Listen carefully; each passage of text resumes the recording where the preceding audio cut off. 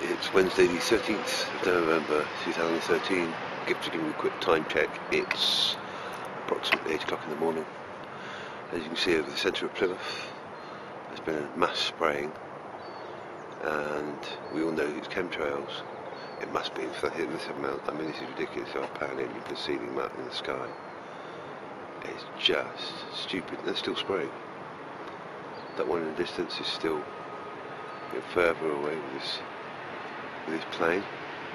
And then if you pan around and look towards the city centre, you can see more trails.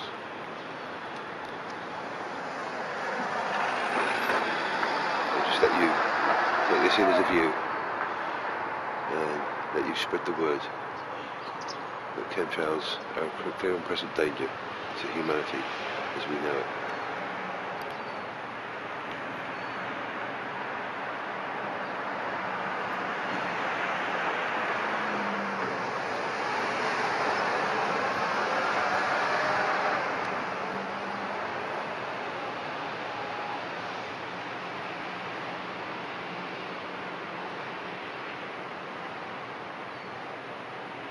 Take care, live in peace.